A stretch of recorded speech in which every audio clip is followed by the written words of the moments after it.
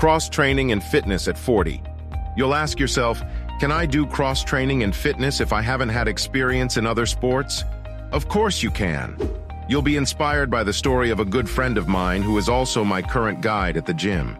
My friend Gabby found her passion for cross-training and fitness at age 42 without having any previous experience in sports. She says that since starting this sport, her life took a radical turn. Cross-training and fitness not only improved her physically and emotionally, but it also helped her mental capacity as well. The great thing about Gabby was that she went up to the cross-training and fitness three times in the master category and even won one of them. This 42-year-old woman started without any experience. His example tells us that yes, you can start at cross-training and fitness after 40 years. You can do it.